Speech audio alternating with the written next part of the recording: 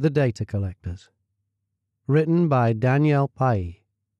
Narrated by Graham Mack and Danielle Palli. 7. Sabrina and Hamish. Friday evening, five years after the assembly. Sabrina was used to getting her way. Always. And Hamish secretly worried about the consequences the first time that did not happen. When she was sweet, which wasn't very often, she was very sweet. But when she was angry, venom poured out of her eyes. Literally. Still, after fifty eight years of marriage, he felt an odd sense of duty to her. It wasn't love exactly, was it? No, maybe not. He wasn't sure. Sabrina felt out of place in her surroundings, and he knew she hated that. She often wore ill fitting pantsuits or black dresses and red lipstick, along with equally red nails, in an attempt to pass as more human like. However, her flat nose and grey toned skin were difficult to cover up with makeup. She contemplated cosmetic surgery and pigment injections for the trip, but decided against it since she found herself to be exceptionally gorgeous under normal circumstances. None dared to disagree with her. Ham? His wife's voice jolted him to attention, rattling his nerves. Yes, my love? We're going to need to have another baby. If you say so, my love. Right away. She pulled him into the bedroom suite. Twice as evolved, and it's a shame we still have to do things the primitive way. Hamish and Sabrina were among the last of the royals.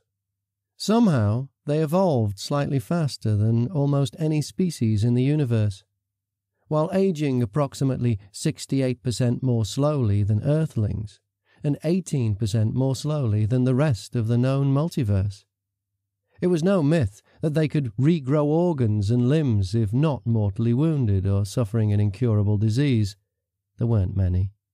And they could adopt their lizard features to protect their outer form when under attack. This included rugged leathery skin and venom that flowed from their nails at will if they scratched you. They weren't always particularly fond of this form, mind you. But it was functional during wartime, and, unfortunately, involuntary when under duress. Sabrina pulled Hamish close to her in a tight embrace. Hamish gave her an obligatory peck on the lips Hamish was much shorter and wider than his wife, looking more like a plump iguana stuffed into a three piece suit. Why did you kiss me? she demanded. I didn't tell you to do that. I was being affectionate, Hamish explained. I thought you'd like it. My dear stupid husband, this isn't about affection. It's about survival. Haven't you noticed that of all the species across the universe, humans are the only ones who have devolved? And yet their populations are three times that of our royals in spite of our evolution. So are fruit flies, but what's the value in them? I can't wait until we can clean the slate and try again. We've tried before. What makes you think it will work this time? Because this time we have a genetically born data collector to help us. And why would she be inclined to do that? You saw what happened to Cepheus, she reasoned. Hamish nodded solemnly. Then you know how persuasive I can be. Not forty five minutes later, the royals were ready for the evening's dinner in the hotel's banquet hall. Sabrina surrounded herself with fellow royals, along with neighboring species that she deemed acceptable. Running the only five star casino hotel she knew of in the area that was both maintained by and catered to royals. The general population was unaware as it was managed by humans who were paid exceptionally well to keep their mouths closed. It only took one leaker to the local paper to mysteriously die by accidentally getting run through a commercial dishwasher several times, before, even more unwittingly, becoming locked in the walk in freezer overnight for the rest of the staff to catch on. Yes, employees were carefully vetted and often included underground aliens doing their best to blend in with the human population in the event they needed to act as the public face of the casino to answer any odd rumours that might be floating around. Rumours, for instance, that thanks to elusive architecture, the hotel was sectioned off so that Earth guests stayed on one side and aliens on the other. The two sides never to meet. The outside world must never know that the aliens who frequented the place were as illegal as the money they gambled. The currency at the Royal Casino was the Earth dollar. While Sabrina detested humans, she still loved their money.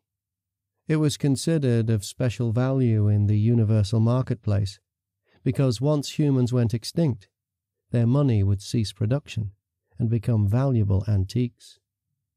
She already had plans to create a money lined room in her palace when she returned home.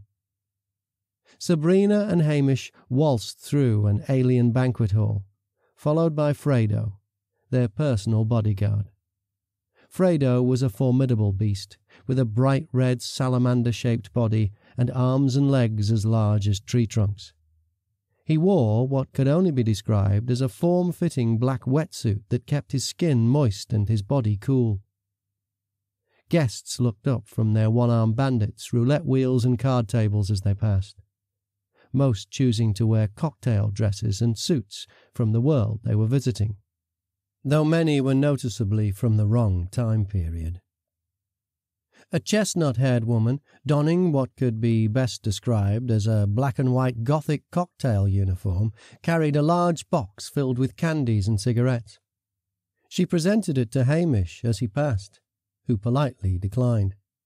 Fredo intercepted, not so politely, telling her to kneel before her sovereign that won't be necessary, Hamish began, but it was too late. She'd already kneeled, dramatically balancing the box of goodies on her thigh uncomfortably. You don't approach the sovereigns, and you don't speak unless spoken to, Fredo spat, swiping his arm and tossing the remnants of her box all over the floor. Sabrina smirked at first, until she noticed a few disapproving glances from her guests. Forgive me, my dear, she leaned over the woman, taking her by the chin and lifting her upward until the maiden had no choice but to stand. My serf is quite protective of his ambassadors. I would love a box of your delightful cigarettes. The girl, along with several staff members who heard the commotion, rushed to her side, helping to gather up the contents of her box, before she sheepishly presented it to the Queen. Sabrina selected one Matches? The girl inquired and winced in Fredo's direction. Not necessary, thank you, Sabrina announced, swiping a nail across the tip of the cigarette. A small ember quickly began. She puffed for a moment. Most acceptable. They continued down the aisle as a quiet sign that guests should collect their things and follow the procession. Dinner would begin shortly. 8. Lucine meets Cepheus. Friday at midnight, or thereabouts, five years after the assembly. Something that went bump in the night startled Lucine from an incredibly unproductive nightmare about being kidnapped by aliens for special powers she did not possess. She sat up quickly as her eyes struggled to adjust to the blackness vaguely aware that the nightlight was offering no assistance. She threw the blankets off and planted her feet on the carpet. She tugged at her pinstriped pajama top, adjusting her matching pants as she stood. Bagheera, what you doing, kitty? Lucine called out to the black house cat. The room went silent as she fumbled for the light switch. As the bulb flickered to life, she let out a scream. A cloaked figure the size of a full grown man crouched atop her dresser. His face was partially shielded by the black cape, and he peered over his shoulder with lizard yellow eyes and an ibis beaked nose. His skin was pale yellow with a green hue. Brrr, a sound murmured from under his cape. Lucine's heart was pounding loudly in her ears as she put a downturned palm out in front of her. Please do not hurt my cat. she implored the beast. The beaked figure glanced down at his cloak. As it fell away from his arm, Bagheera could be seen cradled in the beast's arms as the figure pet him gently with his opposite hand. I want the cat, Cepheus answered simply. The beast leapt gracefully to the floor and headed toward the bedroom door. Bagheera still nestled in one arm. No. Lucine spoke firmly, picking up the nearest weapon she could find a weighted brass hand mirror. The beast looked at his reflection in the mirror, as if mesmerized by his own image. But I want the cat. He paused. I want that reflective glass, too. He moved towards her. Stop, Lucine commanded. The beast obeyed, shrinking backward like a chastised animal. I don't know who you are. Cepheus, I'm sorry, what? Lucine asked. I am called Cepheus, and I want the. Yes, I understand. Uh, Cepheus, you want the cat, but you may not have the cat. He crinkled his face in discontent. However, She held out the brass mirror. you may have this mirror. Bagheera wiggled out of his captor's arm and leapt to the ground, just as Cepheus snatched the mirror from Lucine's grasp. But instead of running to safety, as was his typical behavior around strangers, Bagheera stood by the man's dirty leather boots, grooming. Cepheus gazed at his reflection and murmured, I would never hurt the cat. The intruder blocked the entrance to Lucine's bedroom and she had little confidence in her ability to pry the window open in a timely enough manner to leap to her escape. Cepheus, Her voice crackled nervously. who are you and why are you in my house? The beaked man's eyes rolled slightly, and he swayed his head back and forth as if he were trying to sift through files in his brain and remember something. In her own way, Lucine was doing the same. Why was that name so familiar? She tapped the side of her head with her palm as if to knock things in her brain back into place. A sudden knock at the door made Lucine jump. Under normal circumstances, she would have screamed for help at the top of her voice. But as she looked down, she noticed Bagheera was pairing as he rubbed up against the man's boot. Instead, she asked, May I answer the door, please? Cepheus seemed confused. The door did not ask you a question. The knock repeated more insistent. Lucine! a voice called from outside. Tanager, I'll be right there. To Cepheus she asked, Would you please let me through to open the door? Let you through what? he asked, leaning over to show Bagheera his reflection in the mirror, smiling broadly, revealing a row of saw-like teeth. Cepheus, She tried again calmly. please walk forward three steps. He took exactly three steps forward, and Bagheera followed him. The mirror caught light from the lamp and reflected a bright beam on the carpet. The cat began chasing the light, pawing at it in vain. Cepheus let out a gleeful snort, baring sharp teeth once again. Lucine took the opportunity to rush through the bedroom door. A soft light from a lamp in the living room, left on when Fatima was working late, partially filled the room, giving more light bouncing opportunities for her cat. Bagheera! She called as she ran to the kitchen door in an ineffective attempt to get her cat to follow her. She didn't expect that he would, as he never had in the past. She stood in front of the red door, reaching her hand out, but unable to open it. Tanager could feel her energy on the other side of the door. Lucine, please let me in, I can't. The door's locked and I have to get out. she answered helplessly. She ran to the window and quickly unlatched it. She had one leg on the side table and the other over the sill when Tanager came around the corner and stopped her. I can help, he reassured. Let me out. There's a strange being. Cepheus, I know, he answered. Let me in. Lucine pulled her leg back, glancing nervously over her shoulder toward the bedroom. Cepheus was still playing with Bagheera, waving the mirror around as the cat bounced on stray light beams.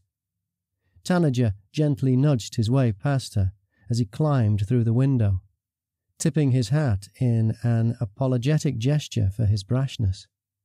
He glanced momentarily at her very thin pajama set, which did little to hide the details of her form. He tried not to notice. Lucine leapt from the table and followed him. Cepheus, he commanded, please stop whatever it is you are doing and come out here, please. Lucine pulled her shoulders back, trying to make sense of what was happening.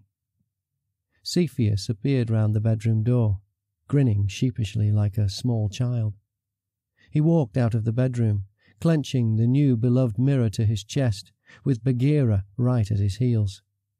He smiled down at the black feline. I want the cat, he explained to Tanager. Yes, I know you do, my friend, Tanager answered calmly as he removed his fedora and placed it on the dining room table. He began peeling his leather brown gloves off. But please be careful. If her cat were injured in some way, Lucine would be very upset. Cepheus recoiled as Tanager came closer. I would never hurt the cat. Cepheus dropped his gaze in shame. Or Lucine. Lucine was startled at the sound of her name as it passed his lips. There was something familiar about his voice. Where had she heard it before? I know you would never intentionally hurt anyone. Tanager set the gloves on the table beside the fedora walked around the dining area until he was within arm's reach of Cepheus. Now, as I was saying, before Cepheus could react, he placed a small cylindrical tube inside one of his ears and released a puff of air from a vacuum seal. Cepheus's eyes rolled backward and his lean body lurched forward. Tanager put out an arm to catch him, struggling slightly with Cepheus's tall frame. Lucine jumped at his side, helping as Tanager guided Cepheus over to the couch where the faint beast promptly collapsed in a heap. Tanager did his best to adjust the beast's limbs so that his arms and legs weren't sprawled in every direction. He'll come round in a few minutes, you'll see. Well, that's reassuring. Lucine threw her hands in the air. What the hell's going on? And who are you people, really? Are you sure you don't know already? Tanager stood up, looking intently into her eyes. His gaze made her uncomfortable, but there was something soothing about it. She still felt anxious about tonight's activities, but no longer threatened by either of the men. What kind of weird hypnosis is this? What? You're not making any sense. As if on autopilot, Lucine made her way into the kitchen and pulled a bag of pork rinds from the pantry. Among her many eccentricities, Lucine was also a nervous eater. She began munching on a rind as Tanager looked at the bag distastefully. Life was completely normal until you showed up yesterday, and now him. She pointed at the slumped over Cepheus before licking her fingertips. Bagheera now sat at his feet, watching expectantly. Normal? he questioned. I am curious as to your definition of normal. What's that supposed to mean? Lucine demanded. For example, is it normal that you have the worst diet of anyone I have ever seen, and yet you have the body mass of an athlete? My diet is just fine. Besides, I exercise. And how would you even know what my diet is like? Or my body mass for that matter. I don't even know what my body mass is. No. Fatima exercises daily, and she's still a good twenty pounds heavier than you. She eats better, too. Again, how would you know that? Have you been stalking us? Is that what you were doing outside the grocery store the other day? Now, thirsty from munching on the pork rinds, she reached in the refrigerator for a can of ginger beer annoyed at what she perceived as a distinct invasion of privacy. Well, no, Tanager explained calmly. Stalking implies that I am obsessed with you and am a threat. Aren't you? Lucine squinted her eyes at him, not really believing it herself. No. It might be better if you sat down, Tanager suggested. Pulling a chair out from under the dining room table, Lucine sat, taking the pork rinds and ginger beer with her. Tanager took a seat across the table. We've been watching you for several weeks now, trying to find the right time and the best way to make our introductions. We? Meaning you and the lurking vampire over there. Lucine gestured towards Cepheus before snatching a napkin from the dispenser on the table, resulting in several sticking together with orange pork rind smudges. She fought to no avail with the napkin holder. I really wanted to reveal this in a more delicate way. He paused with minor annoyance as he helped steady the dispenser for her. But we appear to be short on time. You're going to tell me that you and Cepheus aren't from this planet. Yeah, that much I figured out. Tanager was surprised. Lucine let out a snort and took a sip of her soda. And you came all this way to give me nutritional guidance? Lucine's snarky side was always unleashed when she felt defensive or misunderstood in some way. Yes, and we knew your parents. Do you remember? Lucine's breath caught in her chest. What do you know about my parents? A moan from the couch interrupted their conversation.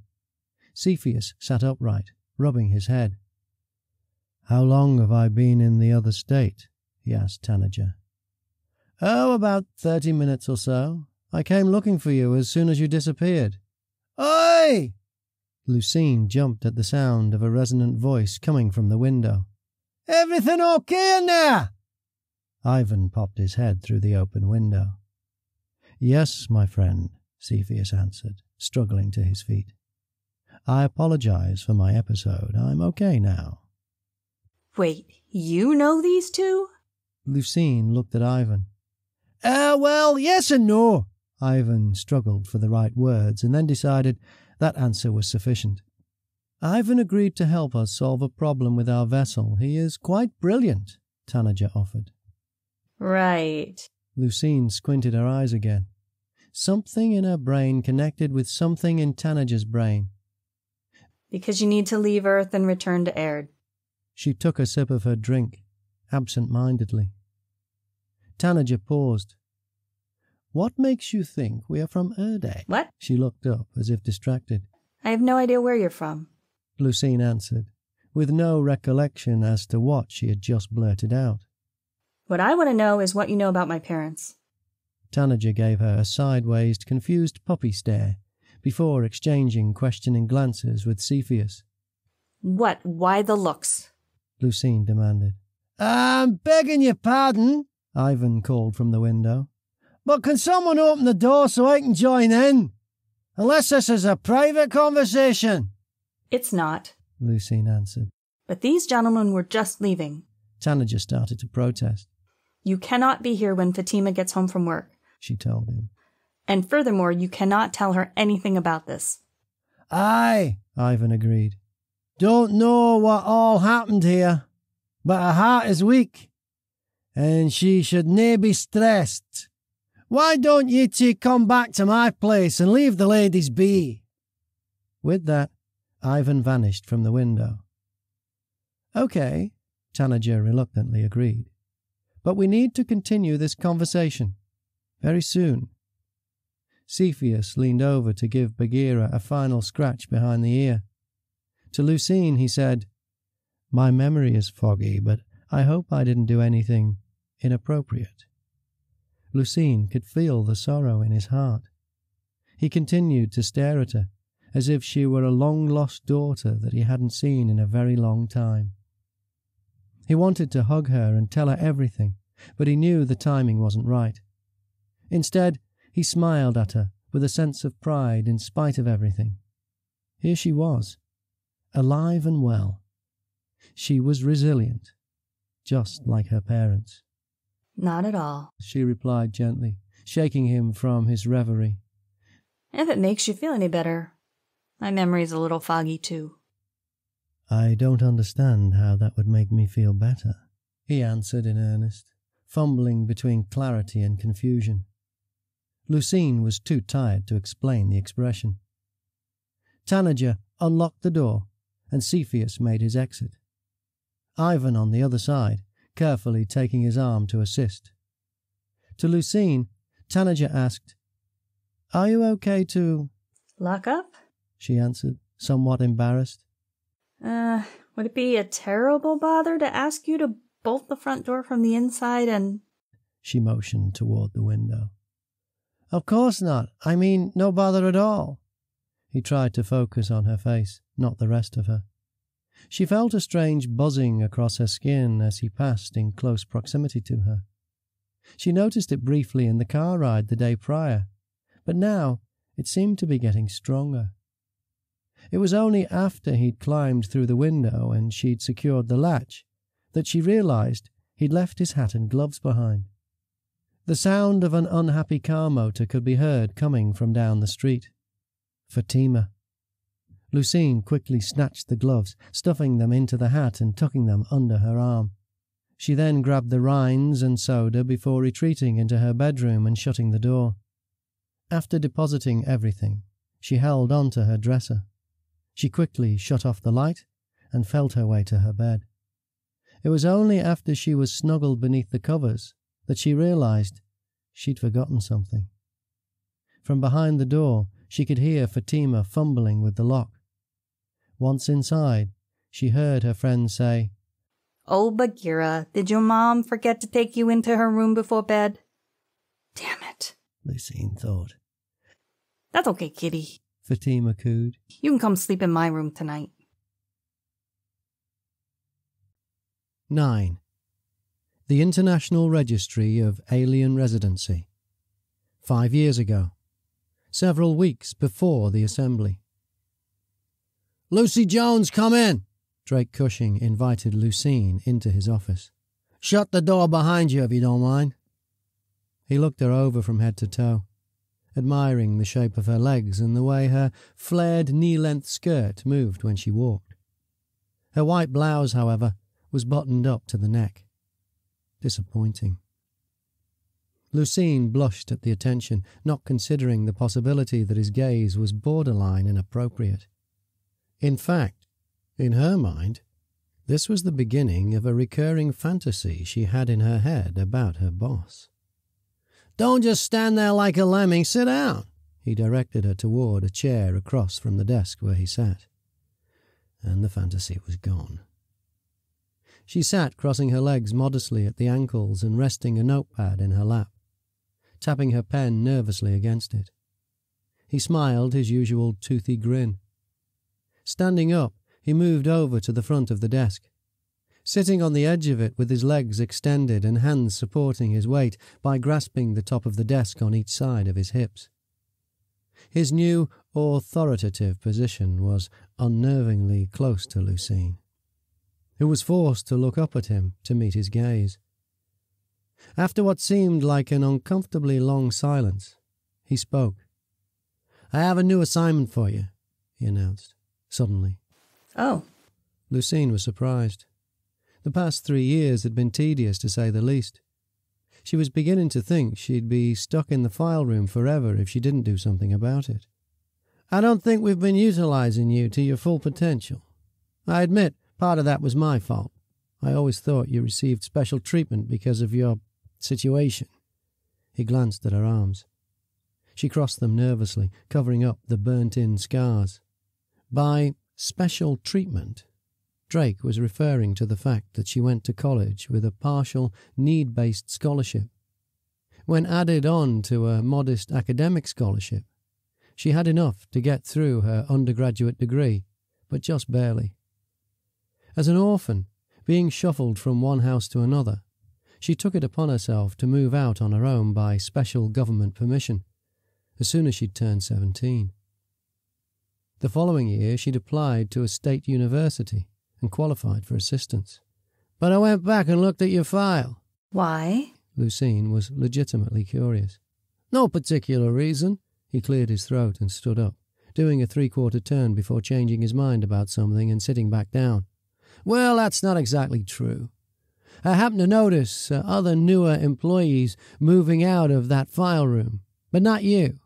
I confess I thought it was a competence issue. But then he moved to his desk drawer, pulling out a file that had about four pages in it at best. I looked at your resume. Top of your class. You then worked your way through grad school, and in the past three years you haven't taken a single sick day and have received nothing but stellar performance reviews, which makes me wonder why on earth did you never ask for a promotion or to be moved to a department with opportunity for growth? Lucene gave the question some serious consideration. I don't know, she answered quietly. It was the truth. Well, I noticed. He dropped the file on his desk with a sense of smug satisfaction. And if you're willing, of course, I'd like to give you a test assignment. Lucene nodded with a sense of excitement and apprehension. She was flattered to have received the attention of her department's director. But the thought of leaving the file room suddenly felt rather terrifying. Of course, she practically whispered. Good, he answered. I should warn you that I'm dealing with some sensitive information. I trust you will keep it to yourself. Lucene nodded. Who would she tell? Was that a yes? He paused impatiently. She nodded again before adding, Yes. Good, that's what I thought. He went back to his desk.